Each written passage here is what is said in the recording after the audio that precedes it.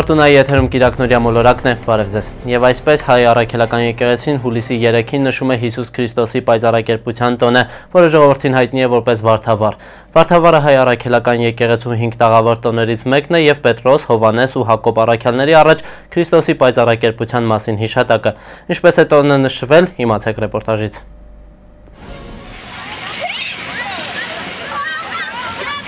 Այսօր Վարդավառի տոնն է կամ Քրիստոսի պայծառակերպության օրը։ Այն հայ առաքելական եկեղեցու 5 տաղավար տոներից մեկն է։ Տոնը շարժական է եւ նշվում է Սուրբ Զատիկի 98 օր հետո։ Հունիսի 22-ից օգոստոսի 1-ն ընկած ժամանակատվածում եւ քրիստոնեական ընկալմամբ մեկնաբանվում է որպես Քրիստոսի պայծառակերպություն, որպես մաքրագործված Աստվածածած մարդու խորհրդանիշ։ Տոնի անվանման իմաստը քչերին է հայտնի այն որևէ կապ չունի վարդ բարի հետ։ Տոնը գալիս է միշտ քրիստոնեական ժամանակներից եւ կապված է Բերքահավաքի շրջանի հետ։ Այն իր մեջ պարունակում է ջրի ու բնության պաշտամունք եւ կապված էր նաեւ աստղիկ աստվածությունների հետ։ Տոնը եղել է շատ բազմազան, որից այսօր պահպանվել է միայն ջրցողումը։ Վերջինիս խորհուրդը հետեւյալն է. միմյանց վրա ջուր ցողելով մարդիկ իբրև ազատվում են ահիծ եւ հիվանդություններից։ Նրանք դառնում են երկարակյաց։ Վարդավառի ջուրն իր մեջ ուներ գերբնական հատկություններ։ Այդ ջրցողումները չէին արվում այնպես, ինչպես այսօր փողոցներում Դրանք արվում են ջրամբարների ու գետերի մոտ, այնտեղ, որտեղ ջրառատ միջավայր կա։ Նրանք հավատում էին, որ դրանով իրենց ապահովում են չարից ու հիվանդություններից։ Եկեղեցին ազգային այս տոնի ջրցողման սովորությանը տալիս է այլ բացատրություն, ըստ քրիստոնեական խորհրդի այն կապված է Նոյի ջրհեղեղի հիշատակման հետ։ Այս տոնը երկու ձևով է տոնվում՝ հոգևոր պատարեկ է մատուցվում եւ ժողովրդական ծեսով, խաղերով, միմյանց վրա ջրելով եւ այլն։ Սրանցով մարդիկ լցրել են իրենց առօրյան ու նշել տոնը։ Հնում հայերը Վարդավառին սովորաբար աղավնիներ են բաց թողել ու տոնական ծառ են պատրաստել, որի վրա կապել են գույնզգույն ժապավեններ, վարդերն ու ամենակարևորը վարունգ ու խորոված խնձոր։ Հայերը պարտադիր գիշերը խարույկ էին վարում ու խնձոր խորովում։ Իսկ տոնածառերը սովորաբար հսկում էին ծեր կանայք, ովքեր ենթադրվում էին, որ աստղիկ աստվածուհու նախատիպը կարող էին լինել։ Նախկինում եկեղեցու դռները զարդարվում էին խնձորներով, վարդերով ու վարունգներով, որը հին հայերի մոտ ընդունված էր այդ օրը նշանակված աղջիկներին տղայի տանից բաժին ուղարկել, միշտ եւ հատկապես խորոված խնձոր։ Ցավոք ազգային այս տոնը ներկայումս իրակունքներից շատ է հեռացել։ Ինչևէ, Վարդավառին բոլորը մեծ թե փոքր հավաքվում են ու միմյանց վրա ջուր են ցողում։ Այսօրն էլ բացառություն չեղավ։ Մարզկենտրոնի հրապարակում երեխաները հավաքվել ու միասին տոնում էին Քրիստոսի պայծառակերպության օրը։ Խաչամատինյան, Մոլորակ։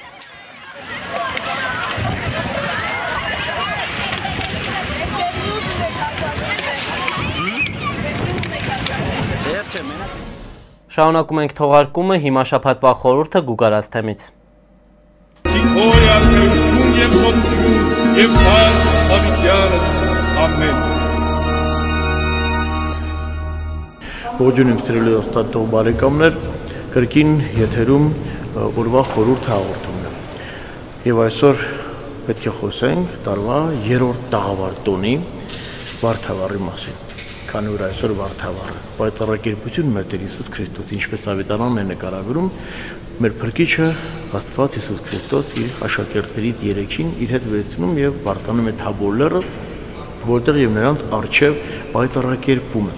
ամբողջությամբ այլակերպում եւ դառնում է լույս սպիտակ ամբողջությամբ առավելաբար խոսում են լույսի մասին որ ճառակող լույս է եւ անխավար լույս բայց ինչ այդ առաքյալներին նա ուզեցել էր հարցրել եւ ասել թե ինչ են ասում մարդիկ իր մասին ով է նա եւ ապա հարցրել թե ինչ են ասում աշակերտներն իր մասին եւ երբ վստահեցրեց աշակերտների կողմից թե նա ինքն է Քրիստոսը կենթանի Աստծո որդին,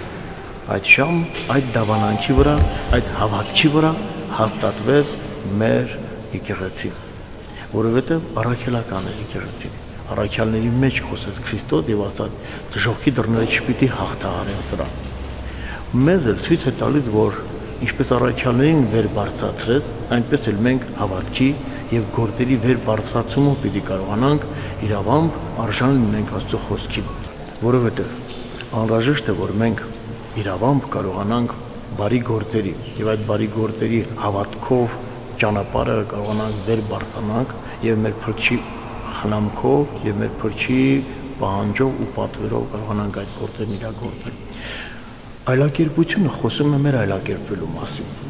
որովհետև նախ Քրիստոս ցույց է տալիս, թե ինչպիսին էր Ադամ մինչև մեղսագործությունը։ Շատ կարևոր հանգամանք է սա, որ բարձունքում էր նա գտնվում եւ այլակերպված է, ամբողջությամբ լույս է։ Ահա այդ այդ լույսի միջոցով է, որ մենք խոսում ենք մարդու այլակերպման մասին։ Այս տոնը մեզ սովորեցնում է, ուղղորդում, որ Սուրբ Երորդության միջնորդության, Սուրբ Երորդությանը հավատալով մենք կարող ենք այլակերպվել, մեղքերից դուրս գալ, մեղավոր մեր վիճակից դուրս գալ եւ այլակերպված լուսավորված բարի գործերով առաջնորդվել միաբան եւ միակամ, որովհետեւ սա խոսում է եկեղեցու հաղթադիճան մասին։ Աստված ասում է՝ «Ձերից ձայն դրեցաք, դա իմ սիրելի որդին, դրան լսեցեք»։ Ամենք եկեղեցուց պատվեր ունենք լսելու Աստծո խոսքը, իրագործելու այն եւ դառնալ միակամ, միամբողջական։ Ահա խորհուրդն այս է, այլակերպել, պայծառակերպել, լույս դառնալ ամբողջան, որտեղ մեր փրկիչը լույսը դրա մասին շատերը վկայեցին եւ մենք լույսի հետևորդ ենք ու լույսի ճանապարհներով գնացել։ Աստված բերցած։ Սինքոյ արքայություն եւ սոթություն եւ փառք հավիտյանս ամեն Այլ թեմաներ Լոռու մարզի Լեռնավան համայնքում փորձում են Սփյուռքի ներուժը օգտագործելով զարգացնել համայնքը, վստահ լինելով, որ գյուղից արտագնա աշխատանքի մեկնասները վաղ թե ուշ պիտի վերադառնան, ու քանի որ բոլորն էլ ուզում են գյուղում մի շարք խնդիրներ լուծվեն, սկսել են դրա համահավաք, հույսով, որ գյուղը գոնե համայնքային կենտրոնում շակութային պալատ կունենա։ Մանրամասները ռեպորտաժում։ Ինչպես համայնքապետն է ասում, Լեռնավանում տոն է։ Համայնքի բնակիչները հավաքվել են եկեղեցու բակ եւ նշում են արտասահմանում գտնվող համագյուղացիների բարերարության սկիզբը։ Վերջիններիս նախաձեռնությամբ կատարվել է հանգանակություն, որպեսզի լուծվեն համայնքային որոշ խնդիրներ։ Օրհնյալ Տեր մեր Հիսուս Քրիստոս ամեն, հայր մեր, որ երկինս ես, Սուրբ Եղիցի անունքով, եկես թե արքայություն քո, Եղիցին կամք քո, որպես երկինս եւ երկրի ըսած մեր հանապազոր, տուր մեզ այսօր, և թող մեզ պարտիս մեր, որպես և մեկ թողունք մերոց պարտապանած, և մի տանիրս մեզի փորձություն, այլ փրկեազ մեզի չար է, զիքոյ արքայություն և զորություն և պարք հավիտյանս ամեն, ըս գործս զրած մերոց ուղիղարեի մեզ տեր, և ըս գործս զրած մերոց հաջողյա մեզ, ամեն համայնքում այսօր ոնց ասած մեր համար, մեր համայնքի համար մեծ տոնա, մեծ շուկով ուզում ենք տոնենք, որովհետև արդ երկրում գտնվող մեր համագյուղացիները համախմբվել են, կատարվել է ուրեմն հանգանակություն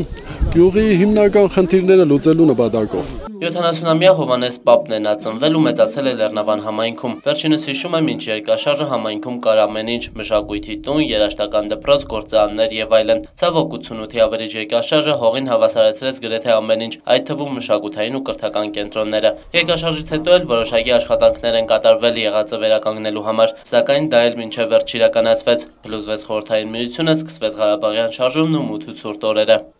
Կուլտուր կենցաղային օջախներ, մշակույթային տուն են ուզում կառուցել, ուզում են այնտեղ ցայտ աղբյուր, մնացած ճանապարհներ եւ այլը եւ այլը։ Հիմնադրամ են ստեղծել,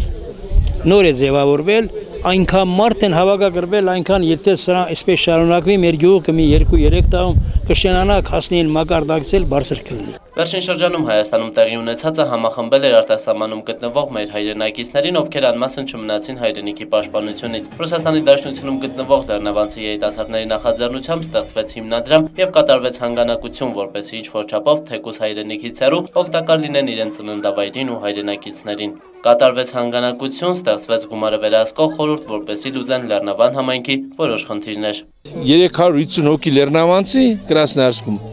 նրանք այնտեղ հիմ կանած ասենց նայում են թե ինչ են ստեղ որոշում որոշումը կայացրել է գյուղի այսինքն մեր գյուղի այս համայնքի Կրասնարսկի համայնքի կողմից այսօր մենք եկել ենք որ նշենք այդ հիմնադրամի ստեղծման օրը ու տղաները լծվել են այդ գործին ամբողջ գյուղը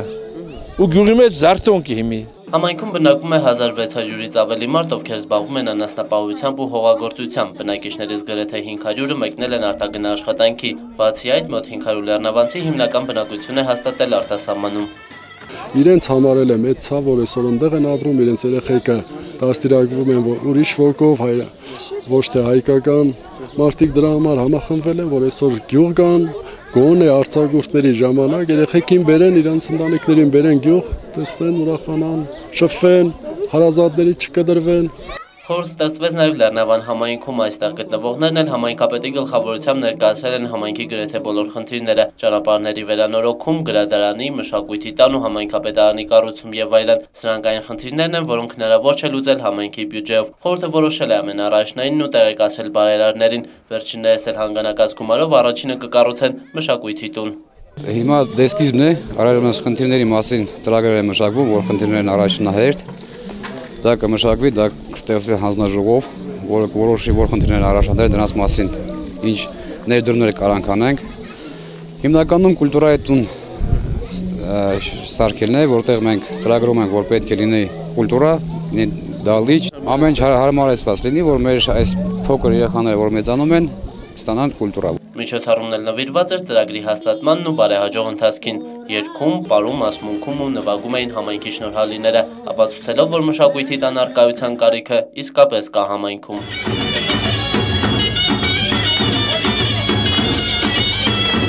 Ամենակարևորը, որ ծրագիրը շարունակական լինի, նշում է համայնքապետը։ Բարերարներն էլ վստահեցնում են, որ իրենց հնարավորությունների սահմաններում անելու են հնարավոր ամեն բան, որպեսզի համայնքում խնդիրներ չլինեն։ Այսպիսով Լեռնավան համայնքի շենացման առաջին քայլերն արված են։ Հետագա գործողությունները մեծապես կախված են բարերարներից ու նրանց հանգանակած գումարից։ Վաչե Մադինյան, Արեն Ավակյան, Մոլորակ, Լեռնավան։ Շարունակում ենք թողարկումը Վերին Լարսի անցակետ տանող ճանապարհի փլուզված ճանապարհատվածն ու դրա վերականգնման աշխատանքները շարունակում են մնալ ուշադրության կենտրոնում։ Անհանգստացած են նաև Հայաստանում հասկանալի պատճառներով։ Ինչ է կատարվում իրականում, ինչ աշխատանքներ են տարվում եւ երբ սպասել ճանապարհի վերագործարկմանը։ Հարցերի պատասխանները մեծ դժվարությամբ տեղում փորձել են ստանալ Վրաստանում գործող Ալիկ մեդիա հայկական ռադիոընկերության մեր գործընկերները։ Հատուկ ռեպորտաժը ներկայացնում է Աննա Պեչենեսկայան։ Բացական նորակառույց այս եկեղեցին հայտնի է հատկապես այն հայերին, ովքեր ավելի հաճախ են երթևեկում վրաց ռուսական սահմանով։ Դարյալի կիրճն է Ստեփանցմին դալարս ավտոճանապարհի հենց այն հատվածն է, որի պատճառով արդեն մեկ շաբաթ է փակել միջպետական սահմանը եւ բեռնատարներն ու մարդատարները հնարավորություն չունեն անցնել վրաց ռուսական սահմանը։ Այստեղ խոսում է Դերդորակի գետը, որը դուրս գալով ուտից խառնվել է թերեքին, որն էլ հեղեղել է մոտ 800 մետր երկարությամբ միջպետական Հունիսի 23-ին ուժգին տեղումների, հեղեղների եւ սողանքի պատճառով փակված Ստեփանցմին դալարս ավտոճանապարհի Վրաստանի սահմանից մի քանի 100 մետր հեռավորության վրա ստեղծված դրությունը շարունակում է անփոփոխ մնալ։ Վնասված ճանապարհահատվածից շուրջ 5 կիլոմետր դեպի Ստեփանցմինդա հատվածն է։ Այստեղից արդեն քաղաքացիների մուտքը արգելվում է ոստիկանության աշխատակիցների կողմից։ Անձնագրային եւ մաքսային ծառայությունների համար նախատեսված սրահները փակ են։ Տեղում աշխատում է մոտ 20 միավոր տեխնիկա։ Ոչ վերականգնողական աշխատանքներն իրականացնող կառույցները, ոչ տեղում հսկողություն իրականացնող ոստիկանները ճանապարհ Ճանապարհի վերաբացման մասին հստակ տեղեկություն չունեն։ Մի բան հաստատ է առնվազն 10 օր ճանապարհը դեռ չի գործի։ Ի թիվս այլ հանգամանքների ճանապարհի վերականգնման աշխատանքների ընթացքին խանգարում է նաև շարունակող անբարենպաստ եղանակը։ Երեկոյան ժամերին առատանձրևի պատճառով ճանապարհի հարևանությամբ հոսող թերեկ գետը վարարում է, ինչի ականատես եղավ նաև Ալիքի նկարահանող խումբը։ Սա իր հերթին լրացուցիչ խոչընդոտներ է ստեղծում վերականգնման աշխատանքներն իրականացնողների համար։ Ավելին Վրաստանի փրկարարական ծառայության աշխատակիցները մոտակա բարձրունքից շուրջօրյա վերահսկողություն են իրականացնում։ Հնարավոր նորաղ Ահմեդի դեպքում շուտ ապույտ աջակցություն տրամադրելու նպատակով։ Վերջինների խոսքերով խնդիրը վերաբերում է հատկապես ծանր տեխնիկային տրակտորներ, էքսկավատորներ եւ այլն, որոնց վարորդները աշխատում են գետին մոտ կամ հենց դրա տարածքում։ Եթե Ռուսաստանի արտակարգ իրավիճակների նախարարության ինքնաթիռները Հայաստանի Հանրապետության արտաքին իրավիճակների նախարարության հետ համագործակցությամբ Լարսի անցակետից ռուսական կողմից Սվարթնոց միջազգային օթանավական են տեղափոխել Հայաստան մուտք գործել ցանկացող 200-ից ավելի քաղաքացու, ապա վրացական կողմից Ռուսաստան մեկնողների վիճակն անորոշ է։ Տարվա ընթացքում Թբիլիսիից Լարս տանող միջպետական մայրուղին ծանրաբեռնված է լինում, մինչդեռ այս օրերին այն գրեթե դատարկ էր։ Այնուհանդերձ մինչ ճանապարհի վնասված հատվածին հասնելը մոտ 1 տասնյակ բեռնատարներ են կայանված, որոնք հունիսի 3-ից հույսով սպասում են։ Սրանք հիմնականում Իրականում այն մեքենաներն են, որոնք Փոթիից Լաստանավով կամ Ադրբեջանի տարածքով տեղափոխվելու հնարավորություն չունեն։ Սպասող վարորդների շարքում ինչպես հայերի, այնպես էլ ռուսների հանդիպեցին։ Առաջին օրերին ընդհանրապես ոչինչ չէին ասում։ Սկզբում ասացին 6 օր, հետո 10, հետո 2 շաբաթ, մի խոսքով, նույնիսկ 2 ամսվա մասին էին խոսում։ До двух месяцев даже. Վրաստանի առաջարկած իբր այլընտրանքային ճանապարհը Բաքու մեկնելու միջոցով ոչ միայն Հայաստանի քաղաքացիների, այլ նաև շատ ռուսների համար հնարավոր չէ։ Вот вот сегодня мы услышали вроде такую информацию, что якобы через Азербайджан Իբր ասում էին կարող ենք Ադրբեջանով գնալ, սակայն ով անձնագրում հայկական կնիկ ուներ, Բաքու չէին թողել։ пускают. Հայաստանի Հանրապետության տրանսպորտի եւ կապի նախարարությունը հայտարարել է, թե բանակցում են Վրաստանի եւ Ռուսաստանի հետ հարավային Օսիայով դեպի Ռուսաստան տանող ավտոճանապարհը ժամանակավորապես գործարկելու հարցի շուրջ, ինչը այլընտրանք կհանդիսանա Լարսի ճանապարհին։ Չնայած այս տարբերակի հավանականությունը մեծ չէ, իրավիճակը քննարկվել է նաեւ կառավարությունում։ Զուգահեռաբար տեղեկատվություն է տարածվել, որ բեռնատարների կուտակումը Վրաստանում հասնում է 15-ից 20 մեքենայի, չհաշված այն մեքենաները, որոնք դեռևս Հայաստանի տարածքից դուրս չեն եկել կամ գտնվում են Հայաստան-Վրաստան սահմանամերձ հատվածներում։ Այս պահին ռուսական կողմում կուտակումները կազմեն 40-ից 50 մեքենա, սակայն Վլադիկավկազի մոտ ճանապարհի երկայնքով կան բազմաթիվ բեռնատարներ։ Խոսքը վերաբերում է միայն հայկական մեքենաներին։ Կուտակումներ կան նաև Մինվոդի, Կրասնոդար եւ Դոնի Ռոստովի մերձակայքերում։ Իդեպ փլուզված հատվածին չհասած միջպետական ավտոճանապարհի մի շարք հատվածներում եւս վերանորոգման աշխատանքների կարիք կա վտանգավոր է հատկապես ճանապարհը կիսող այս կամուրջներից մեկը։ Այստեղ եւս վերականգնողական աշխատանքներ են սկսված։ Հիմա տեսանյութեր քարորյա պատերազմում ընկած լորեցի հերոսների մասին։ Նարեկը նորածին էր, երբ հայրը 1992 թվականին կամավորագրվեց եւ մեկնեց Լեռնային Ղարաբաղ պաշտպանելու հայրենիքը։ Ամիսներ անց մարտերն ավարտվեցին, սակայն Նոդար Մարգարյանի համար դա նոր կյանքի սկիզբ էր։ Հայրենիքի հանդեպ սերն ուժեղ գտնվեց։ Նա տանը թողեց երեխաներին, վատառողջ կնոջն ու մնացյալ կյանքը նվիրեց հայրենիքին եւ հայրենիքի զինվորին ծառայելու սուրբ գործին։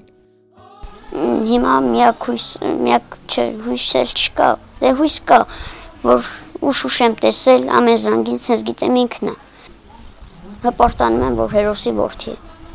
Ինքը միշտ էր հերոս։ Ինքը չտեր զոհվի, որ նոր ինքը հերոս լիներ։ Լոռու մարզի Գուգարք գյուղի բնակիչ 1963 թվականին ծնված պայմանագրային զինծառայող Շարքային Նոդար Մարգարյանը Մատաղիսի Զորամասում դասակի վարորդ էր։ Ջուր եւ սնունդ էր տեղափոխում դիրքեր, սակայն ամենօրյա աշխատանքը ապրիլի 2-ի առավոտյան ճակատագրական դարձավ։ Հակառակորդի ռումբը պայթեց մթերքով բեռնված մեքենայի հենց կողքին։ Մեքենայի վարորդ Նոդար Մարգարյանն ու երկու զինվորականները զոհվեցին։ Լուսեսից համար time.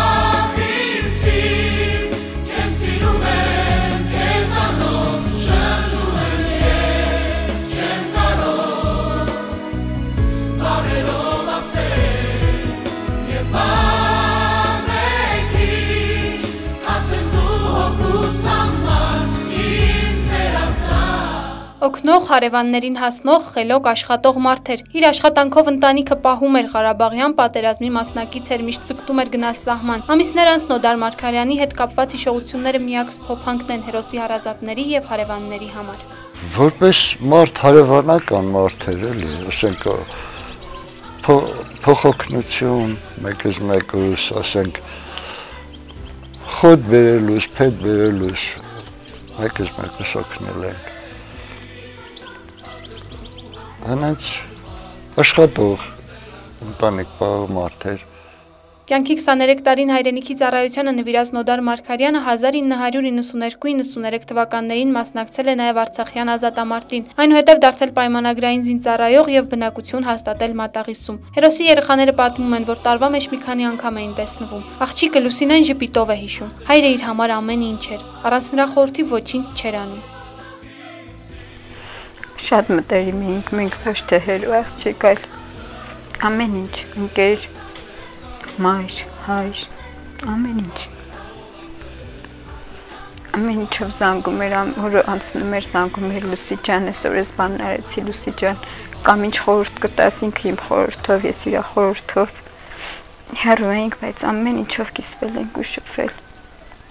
Հերոսի փոքր որդին Նարեկը պատմում է. հայրը իր գործը կատարում էր մեծ սիրով եւ պատասխանատվությամբ պանկախորվաժամից եւ եղանակային պայմաններից։ Հիշում է, որ մի անգամ հայրը ստիպված է եղել ուշ գիշերով ջուր հասցնել դիրքապահ զինվորներին։ Վտանգներով լի ճանապարհը հերոսն անցել է գիշերով առանց լուսավորության, թշնամու ուշադրությունից խուսափելու համար։ Պոստեր նախանցյալ տարի եմ գնացել, որ գնացել էի ինքը ջուր տարել էր։ Այն ժամանակ ջուր էր տանում պոստեր զինվորներին։ Ինքը ջուր տարել էր Զինվորները դե շոկոր լողացել էին, ջուրը հատել էր։ Զանգել են շտաբ ու նորից պետք է ինքը տաներ։ Ոնց որ այդքան շուշը չէր կարելի որ տաներ։ Վտանգավորել էր ճանապարհը, բայց արդեն ուշ իրիկ ու ուզում ենք քնենք, զանգեցին որ պետքա պոստեր ջուր տանես, երեխեքը ջուր չունի։ Ասավ գալիս ես, ես տանը մենակ պետք մնայի, արդեն ուշ էր։ Ասի հա, բայց չէր կարելի։ Ու տենց իրար հետ գնացել ենք պոստեր։ Առանց ֆարերը վառելու այդ լույսերը ավտոյի առանց որևէ բանի տենց քշեց։ Ճակատագրեր խեղած հայրեր, որդիներ, եղբայրներ հերոսացրած քարորյա պատերազմն իր սև գործն արեց։ Արյան գնով հայրենիքի փխրուն խաղաղության համար սրբացած հայորդիների սևազգեստ մայրերն ամիսներ անց նույնիսկ սպասում են իրենց որդիների վերադարձին։ Լա ճամփայ բան որ զանգիտի, որ ման տրիվոգների ընկնեմ, կուշանամ անհանգստանաս ոչ։ Ինձ մար համնա տղայալել, համ աղջիկ ալել, համ քիր ալել, համ աղբեր ալել, համ ամեն ինչը նայալել, իմ առաջ երեխեն նայալել, ինչ որ ելա մենք իրար հետ ենք դիստվել, ամեն ինչ իրար հետ ալել, մեր նեղը օրներ, լավ օրներ։ Ես ուրիշ այդտեղ ոչ մի ազգական չունեմ, իմ ազգական է տրեխեն անում։ Հերոս Նոդար Մարգարյանն օրինակ դարձավ թե իր որդիների եւ թե մյուս հայորդիների համար։ Այն սերը, որը հերոսները զգում են հայրենի հողի հանդեպ, կարող է ճակատագրական լինել, սակայն նույնիսկ մահվան վախը նրանց չի կանգնեցնում։ Հերոսները նայում են մահվան աչքերին հայրենի հողին ամուր կանգնած։ 2016-ի ապրիլի 1-ին Ղարաբաղ-ադրբեջանական շփման գծում վերջին տարիների ամենաուժեղ հակամարտությունը սկսվեց։ Թշնամին փորձեց ներխուժել հայկական տարածք, բայց մեր քաջ ու անվախ հերոսների ջանքերով կարողացանք հետ շպրտել թշնամուն եւ անսասան պահել հայրենիքի սահմանները։ Ցավոք այդ օրերին հայկական կողմն ունեցավ կորուստներ, զինվորներ, ովքեր հերոսացան, ովքեր իրենց այրան գնով պաշտպանեցին հայրենիքի սահմանները։ Այդ օրերին 19-ամյա Հայկ Մինասյանը իր զինակից ընկերների հետ կանգնած էր սահմանին։ Ցավոք սրտի այս նկարանումը վերջիններ նրա համար։ Տղեկ ո՞նց է տրամադրությունը։ Շատ լավ։ Լավ, Отлично։ Ապրիլի 26-ին Հայաստանի պաշտպանության նախարարությունը հաղորդագրություն էր տարածել, որ Ղարաբաղ-ադրբեջանական հակամարտ սորքերի շփման գծի ողջ երկայնքով հակառակորդի կողմից ձեռնարկված ինտենսիվ հրետակոծությունները շարունակվել են։ Հրետակոծության են ենթարկվել Մարտակերտ, Ներքին Հորաթաղ եւ այլ խաղաղ բնակավայրեր։ Հակառակորդի կողմից ձեռնարկված ագրեսիվ գործողությունների հետևանքով մահացու վիրավորում էր ստացել պաշտպանության բանակի զինծառայող 1996 թվականին ծնված Հայկ Մինասյանը։ Հայկը տան միակ տղան էր, ունի 3 քույր։ Մայրը տղայի մասին խոսելիս չէր կարողանում զսպել արցունքները։ 14 տարվա ամուսնությունից հետո Հայկի ծնունդն այս ընտանիքում ընդունել էին որպես երկնային պարգևի։ Նրանց բոլորի համար մինչև վերջերս մեկ նպատակ կար՝ իրականացնել մինուճար որդու երազանքները։ Ծնվեց Հայկը։ Շատ ուրախացանք։ Շատ երեք քույրը օգնեցին ծնող միա մեր հետ միասին մեծացրեցինք հաստրեցինք դպրոցական տարիքի, դպրոց ճանավարեցինք մեծ ուրախությամբ։ Հայկը շատ մոտ էր իր քույրերի հետ, կիսվում էր նրանց հետ, խորհուրդներ հարցնում։ Մայրը ասում էր, որ իր աղջիկները որդու համար երկրորդ ծնող են եղել։ Պահել են որպես այ երեխա, երեխու պես պահել են։ Հասցրել են նրան բռի մեջ պահած ամեն ինչ հասցրել են իրանց աղբորը։ Ու այսօր շատ ցավալի, շատ ծանր է իրանց համար։ Երկրորդ ծնող են եղել իրանց համար կիսվել է, քույրերի հետ շատ կիսվել, ինձ հետ նույնիսկ գրել էր իր գրառումների մեջ կարդացել են, որ ծնողներս պահել են մեծ դժվարությամբ։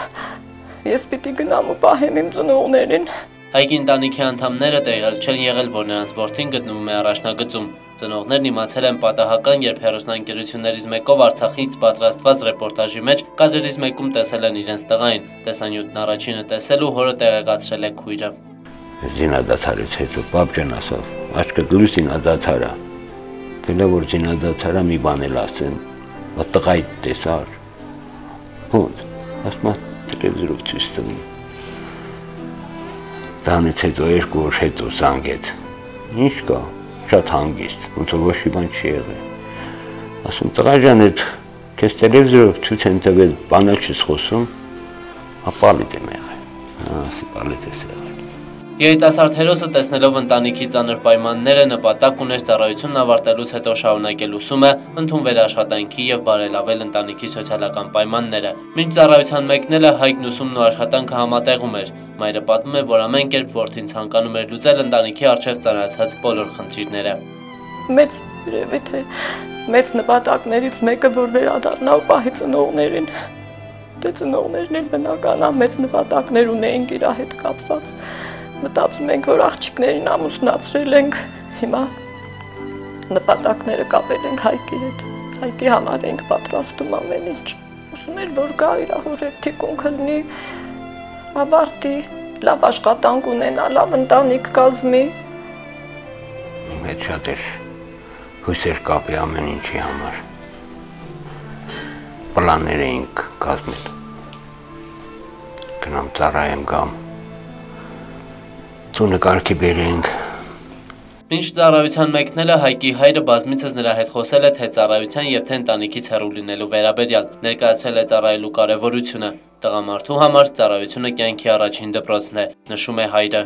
Տղամարդու առաջին դպրոցը դա ծառայությունն է։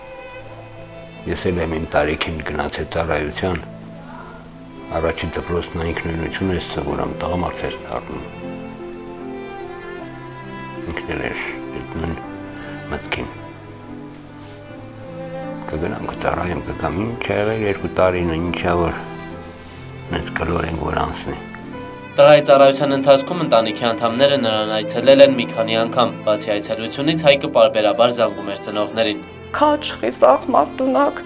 պիտի գնամ, պիտի ծառայեմ, ամեն ինչ լավ է, ամեն ինչ նորմալ է։ Նույնիսկ այդ 4 օրվա այդ դեպքերի ժամանակ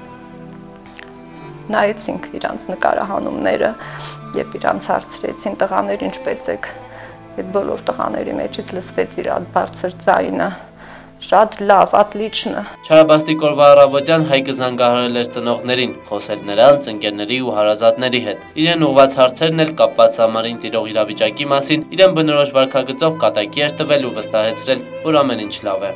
Առավոտյան ժամը 10-ին ամսի 26-ին ես խոսել եմ իր հետ, տունել ա խոսացել հոր հետ, քույրերի հետ, ընկերների հետ ա խոսել այդ օրը, երևի թե սրտը վկայել էր, որ բոլորի հետ ինք խոսի, բոլորի ձայնը լսի իր ձայնը բոլորը լսեն։ Առավոտյան խոսել ենք կեսօրին, երեկոյան 9-ի մոտ էր դեպքը եղել։ Բացի կատակասիրությունից Հայկն աչքի է ընկել իր հանդարտ մտածողությամբ ու կշռադատված վարքագծով։ Իր կենսակերպով նա դարձել է լավ խորհրդատու ոչ միայն հասակագիցների, այլ նաև ծնողների համար։ Պատերազմի 4 օրյա պատերազմներից հետո որ զանգեց, Բաբջան ասում հետ լավ ամեն ինչ լավ է, խաղաղ է։ Ադե կգամ կպատնեմ էլի։ Տենց էր ասում։ Դեպքի մասին իմացել են որդու ծառայիգից ընկերների պատմություններից պատմում է հայրը։ Չկարողանալով զսպել արցունքները, հայրը պատմում է այնին չի ցանկանում ոչ մի ծնողի, պատմում է որդու մահվան պատմությունը։ Հենց այդ ժամանակ առաջի արկն է դրակ։ Իրանց գնդի հրամանատարի տեղակալն էլ ա եղել այստեղ։ Ասավ 70 մետր հեռավորության վրա արկը պայթել է, հենց այդ մի փոքրիկ բեկոր եկել Որդեկորույս ծնողները մինչ օրս ապրում են հիշողություններով, նրանց նպատակները չեն փոխվել։ Նրանք իրականություն են դարձնելու իրենց մինուճար որդու բոլոր երազանքները, ցավոք առանց նրա։ Չեմ ցանկանա ոչ մի ծնող չտեսնի նման վիշտ, նման ցավ։ Իմ վշտի հետ կցանկանամ, որ բոլոր ծնողները իրան զավակներին ողջ առողջ տեսնել, ու ցանկացել են, որ հայկից հետո ոչ մի ծնող բալա չկանչի, ոչ մի ծնող չարտասվես ցավն ու վիշտը չտեսնի, թող իմ հայկով ամեն ինչ վերջանա։ Ոնց են ասում, եթե մնացինք, տղասեր մեր պահողը։ Հայկ Մինասյանը քաջերից մեկն էր, ով հերոսացավ, հերոսացավ հանուն հայրենիքի, հանուն խաղաղության։ Հայկն իր արյան գնով անառիկ պահեց հայրենիքի սահմանները, կատակասեր երիտասարդն իր քաջությամբ ու սխրանքներով դարձավ օրինակ իր ընկերների, հասակակիցների ու զինակիցների համար, դարձավ հայրենիքի պաշտպանի ու անկոտրում կամքով զինվորի վառ օրինակ։ Այսքանն էինք նախատեսել այս թողարկման համար, մնացեք խաղաղությամբ, ցտեսություն։